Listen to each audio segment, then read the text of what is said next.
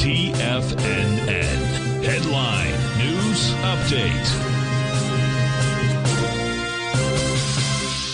Welcome, folks. We had the Dow Industrials finished down 90, Nasdaq up 49, S&P's off five and a half. Gold, gold contract up $51.40, trading at 1918. Look at that, 1918. I like that date.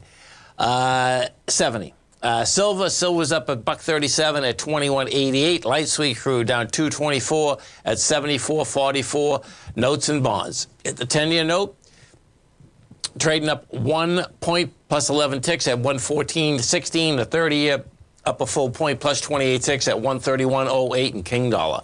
King Dollar traded down 936 ticks at 103.640. The euro out here at a price point of 107. The yen at a price point, where is it? Oh, that do that to me again. There it is. The yen at 133 and the British pound at 121 to 1 U.S. dollar.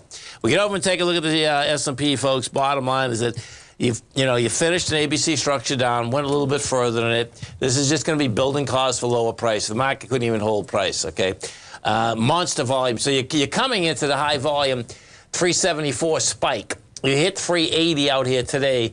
That high volume 374 is going to get smoked, man. Uh, what you have out here is that, you know, we did volume of 148 million. You still didn't hold price. This is the building cause inside of here um, that I suspect, you know, it's going to break, number one. Then the next leg uh, is somewhere over here about the, uh, what is that, 367. The larger picture is that you have the ABC down inside of the SPY on the monthly basis. It's a 331 level. And the 331 level is just over the highs of the low bar for March of 2020.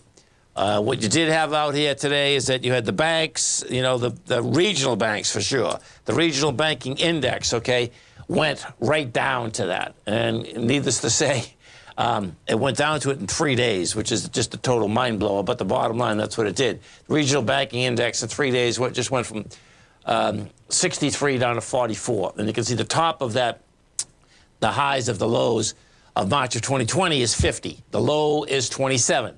Well, now you're going into that with even heavier volume. That's telling me this can go all the way down to the lows, folks, and that's 27. That is saying problems in paradise. Have a great night, folks. Have a safe night. CPI tomorrow morning, 8.30. Tommy at 9 o'clock. Check it out, folks. Have a great one. Have a safe one. We'll get them, folks.